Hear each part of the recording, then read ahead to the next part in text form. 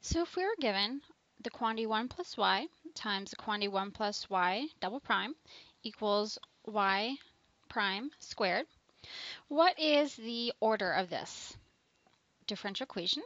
Well, we have a second uh, derivative there, so this is second order. And is it linear or nonlinear? Well, we have this y prime squared, so regardless of everything else, we already know that it's nonlinear. Let's say we are asked to verify that y equals sine of x is a solution. So our first step in verifying that we have a solution is to find the first derivative, which is cosine of x. And our second derivative we also need, and that is negative sine of x. I should say um, that in this equation, the independent variable was not specified. So we just happened to use x. We could have used t, could have used any letter we wanted. So now we need to plug y, y prime, and y double prime back into our differential equation.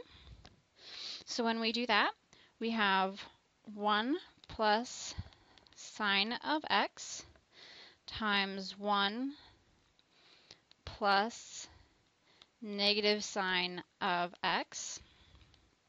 And that should equal cosine of x squared. Okay. So we have 1 minus sine of x plus sine of x minus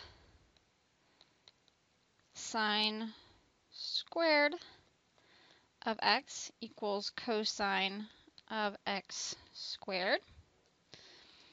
So we have 1 minus sine squared of x equals cosine of x, cosine squared of x.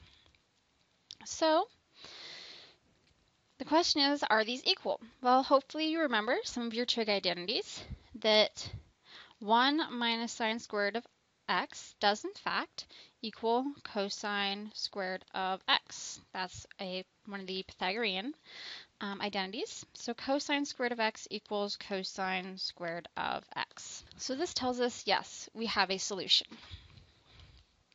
On the other hand, what if we want to know, we want to verify, is y equals x squared a solution?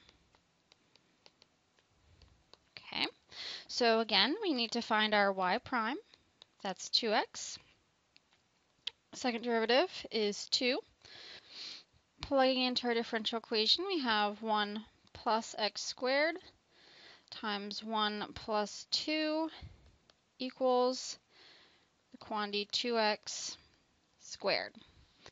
So combining like terms, we have 1 plus x squared times 3 equals 4x squared. So we get 3 plus 3x squared equals 4x squared.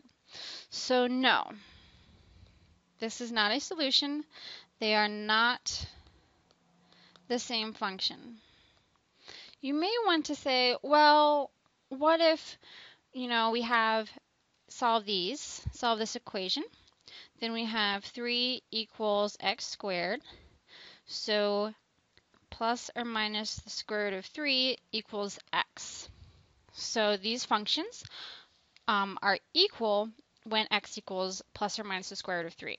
However, it's important to note that we are looking for a function y that satisfies the differential equation on an interval of the real line, not only one or two or a couple of specific points and needs to satisfy the differential equation on an interval. So no, this is not a solution. y equals x squared is not a solution.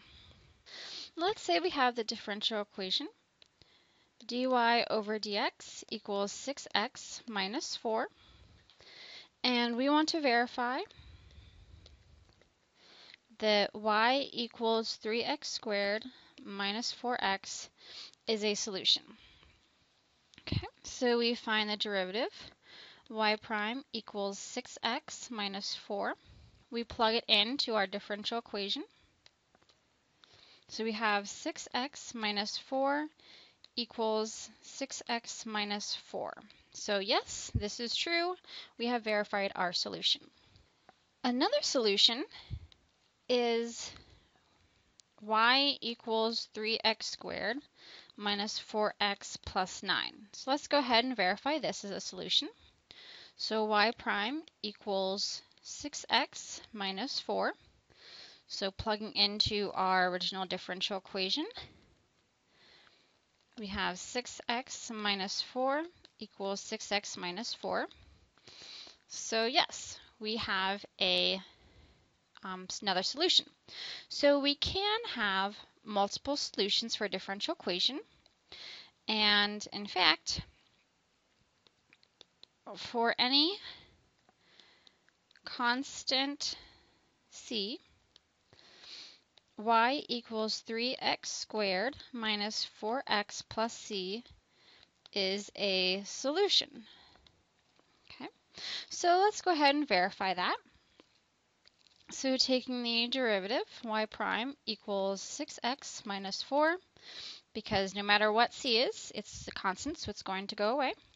So we'll always have 6x minus 4 equals 6x minus 4, and we verified that any equation in this form is a solution. If you recall, when you were finding integrals, you could finally find a family of integrals where depending on what the value of c, that depended on which one of these curves. So this one is when the constant is 0. This is where the constant is 2. Our constant was negative 2. So there's a family of solutions to differential equations that look similar to a family of um, solutions to an integral.